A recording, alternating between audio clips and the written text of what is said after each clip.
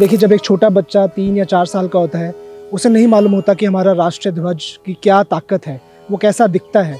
तो ऑब्जेक्टिव यही था कि प्रत्येक बच्चे पहचाने अपने ध्वज को, उस उस शान को, उस, उसके मान को वो ऊपर लेके जाए और उसको अपने दिल में बसाए।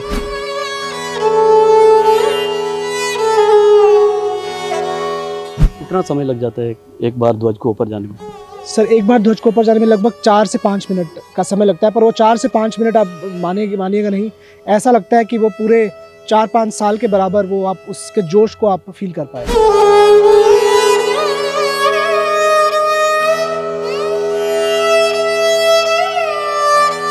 मुझे लगता है कि बीइंग अ स्कूल के डायरेक्टर होने के उससे हमें बच्चों को ये सब सिखाना चाहिए। और सिंस बिगनिंग ही सिखाना चाहिए ताकि बच्चे बड़े होने तक बच्चों में ये भावना रहे। ये ऑरेंज कलर डिपेक्ट करता है करेज और स्ट्रेंथ वाइट कलर डिपेक्ट करता है पीस और उसमें जो ब्लू धर्मा है वो डिपेक्ट करता है ट्रुथ और जो ग्रीन कलर है वो डिपेक्ट करता है abundance growth fertility and auspiciousness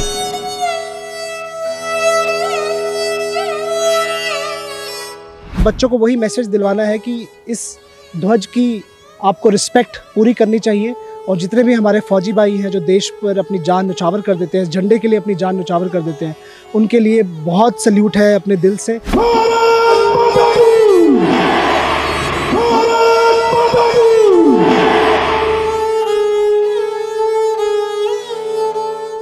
हमारे देश का तिरंगा सिर्फ़ एक देश की पहचान ही नहीं, बल्कि हर भारतीय के लिए आन बान और शान है।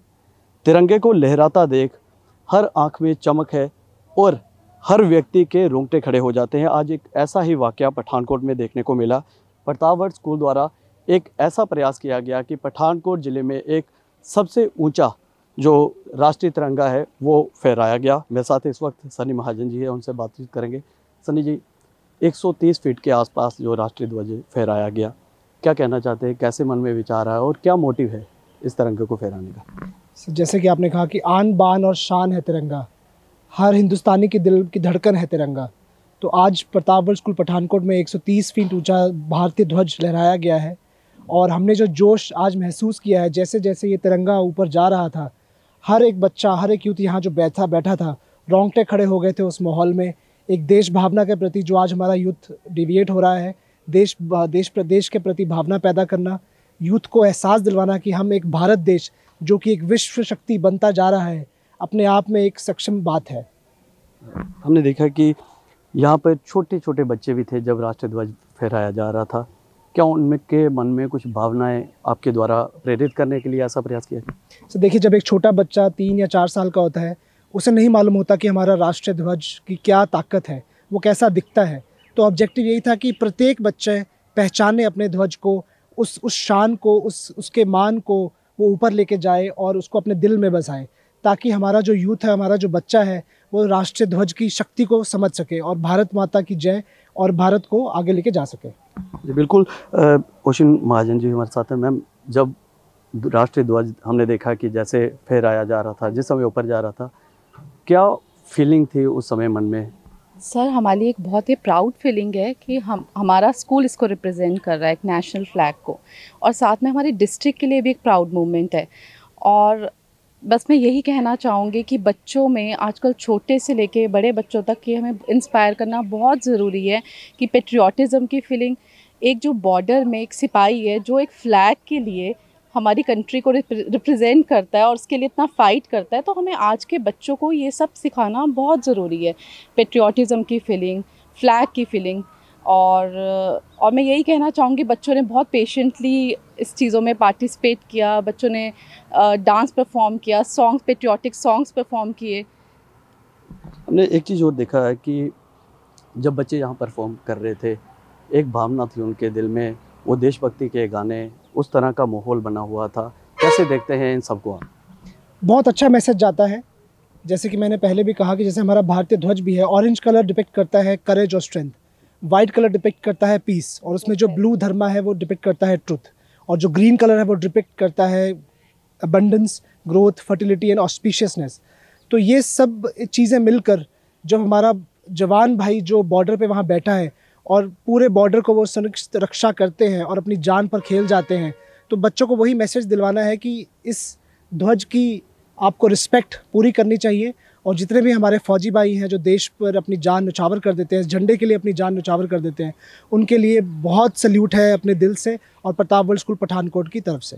कैसे रेडी हुआ कैसे तैयार हुआ और इतना ऊँचा कितना टाइम लग गया इन सब में? थोड़ा इस पर भी बहुत ही अच्छा सवाल सर। करीब तीन महीने पहले हमारे मन में विचार आया कि एक भारतीय ध्वज यहाँ पर स्कूल परिसर में होना चाहिए क्योंकि हम मामून आर्मी के पास हैं और यहाँ पे लगभग एशिया का सेकंड लार्जेस्ट कैंटोनमेंट एरिया भी माना जाता है। तीन महीने की प्लानिंग में designing flag designing pole erection वो सारा प्रोसीजर कराया गया जो कि गाज़ियाबाद की कंपनी के साथ हमने कोलैबोरेट करके किया। कितना समय लग जाता है एक बार ध्वज को ऊपर जाने में? सर एक बार ध्वज को ऊपर जाने में लगभग चार से पाँच मिनट का समय लगता है पर वो चार से पाँच मिनट आप मानिए मानिएगा नहीं। ऐसा लगता है कि वो पूरे चार पाँच साल के बराबर वो आप उसके जोश को आप फील कर पाए। हमने देखा कि आपके परिवार द्वारा ऐसा प्रयास किया जाता है कि देशभक्ति के साथ जो नौजवान पीढ़ी है वो जुड़ सके। आज राष्ट्र ध्वज की बात कर रहे हैं। कुछ समय पहले एक चोपर यहाँ पे लगाया गया था। क्या मोटिव है थोड़ा इस, इसके बारे में? सर आपको याद होगा जब पठानकोट एयरबेस स्टेशन पे अटैक किया गया था तो वहाँ पे कुछ हमारे एयरफोर्स के जवान शहीद हो गए थे। तो उनकी शहादत में उनकी याद के लिए हमने यहाँ पे एयरफोर्स हेलीकॉप्टर उसी साल यहाँ पे इनाग्रेट किया और इंस्टॉल किया।